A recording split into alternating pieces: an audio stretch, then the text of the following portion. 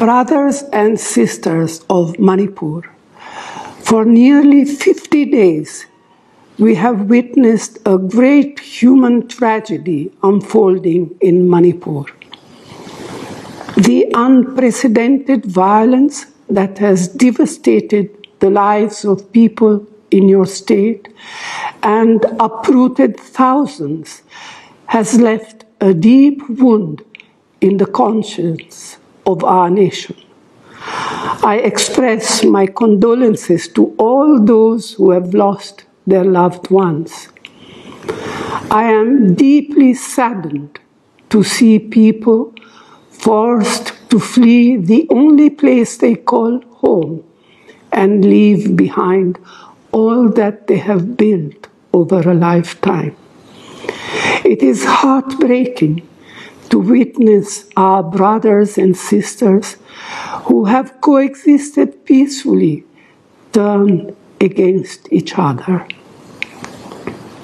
The history of Manipur stands testament to her ability to embrace people of all ethnicities, religions, and backgrounds, and the myriad possibilities of a diverse society. It takes tremendous trust and goodwill to nurture the spirit of brotherhood and a single misstep to fan the flames of hate and divisiveness. Today, we are at a vital crossroads.